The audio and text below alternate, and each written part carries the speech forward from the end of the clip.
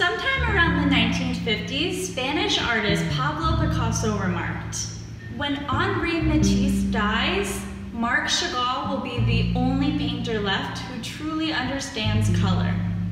Now, I do think that Picasso was exaggerating just a tiny bit with this statement, but one thing is definitely for sure. Marc Chagall was a master of expressing emotion through color I suddenly felt as if we were taking off. You too were poised on one leg, as if the little room could no longer contain you. You soar up to the ceiling.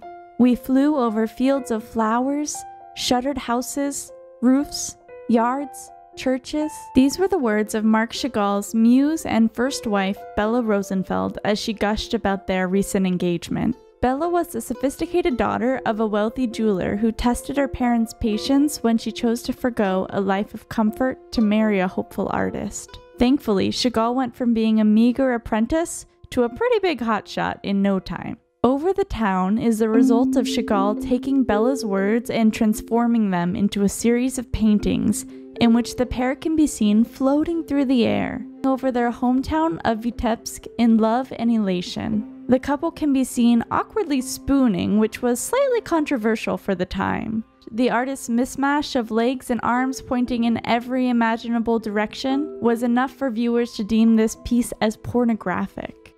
Bella was very well educated and aspired to become a writer.